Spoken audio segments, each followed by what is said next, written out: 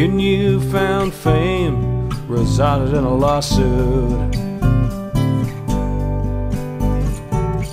You wrote too much loving and there's still a night. She was seen by Fisher Farm and the Firesign Theater. At the Grand at Monterey Bay. Throughout the 70s at a famous London nightclub. You played one down daddy and coffin blues.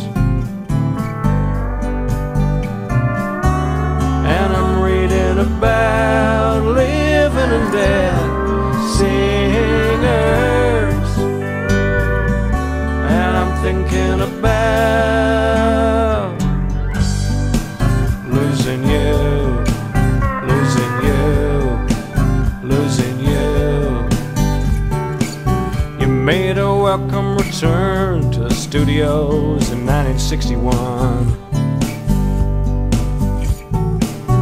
Bryan Gregory's sudden departure followed the release of the compulsive drug train single.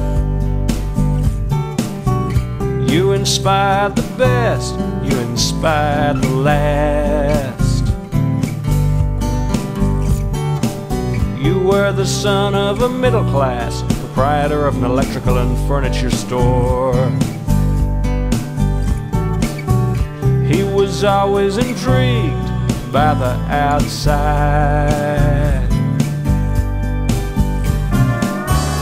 And I'm reading about living and dead singers. And I'm thinking about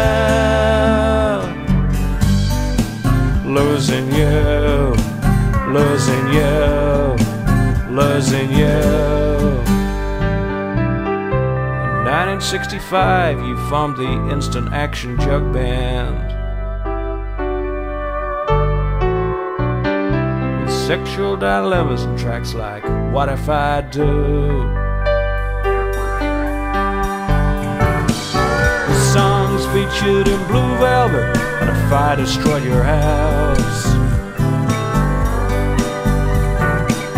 He brought the gospel spiritual an understanding and her tenderness. You inspired the best, you inspired the last.